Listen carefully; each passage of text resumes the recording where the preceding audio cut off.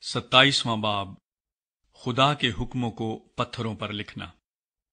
پھر موسا نے بنی اسرائیل کے بزرگوں کے ساتھ ہو کر لوگوں سے کہا کہ جتنے حکم آج کے دن میں تم کو دیتا ہوں، ان سب کو ماننا۔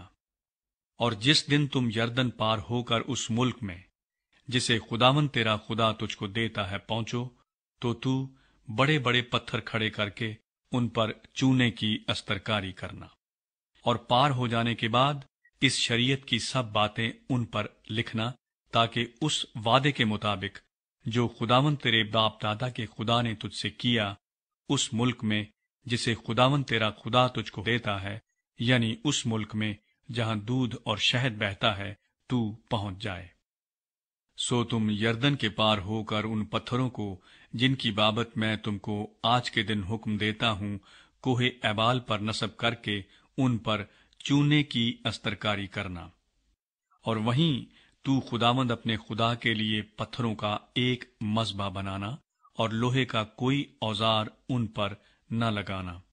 اور تو خدامند اپنے خدا کا مذبح بے تراشے پتھروں سے بنانا اور اس پر خداوند اپنے خدا کے لیے سوختنی قربانیاں گزراننا۔ اور وہیں سلامتی کی قربانیاں چڑھانا اور ان کو کھانا اور خداوند اپنے خدا کے حضور خوشی منانا۔ اور ان پتھروں پر اس شریعت کی سب باتیں صاف صاف لکھنا۔ پھر موسا اور لاوی کاہنوں نے سب بنی اسرائیل سے کہا، اے اسرائیل، خاموش ہو جا اور سن۔ تو آج کے دن خداوند اپنے خدا کی قوم بن گیا ہے۔ سو تو خداوند اپنے خدا کی بات سننا اور اس کے سب آئین اور احکام پر جو آج کے دن میں تجھ کو دے رہا ہوں عمل کرنا۔ نافرمانی پر لانتیں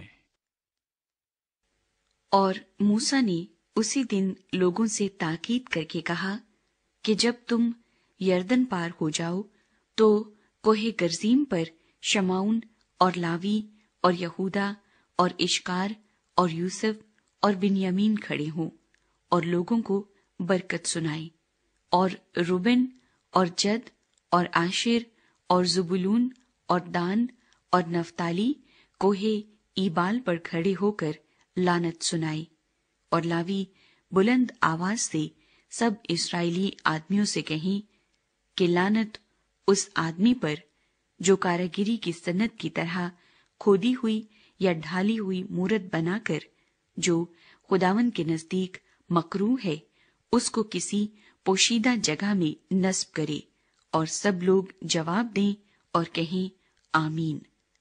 لانت اس پر جو اپنے باپ یا ماں کو حقیر جانے اور سب لوگ کہیں آمین۔ لانت اس پر جو اپنے پڑوسی کی حد کے نشان کو ہٹائے اور سب لوگ کہیں آمین۔ لانت اس پر جو اندھے کو راستے سے گمراہ کرے اور سب لوگ کہیں آمین۔ لانت اس پر جو پردیسی اور یتیم اور بیوہ کے مقدمے کو بگاڑے اور سب لوگ کہیں آمین۔ لانت اس پر جو اپنے باپ کی بیوی سے مباشرت کرے، کیونکہ وہ اپنے باپ کے دامن کو بے پردہ کرتا ہے اور سب لوگ کہیں آمین۔ لانت اس پر جو کسی چوپائے کے ساتھ جمع کرے۔ اور سب لوگ کہیں آمین۔ لانت اس پر جو اپنی بہن سے مباشرت کرے۔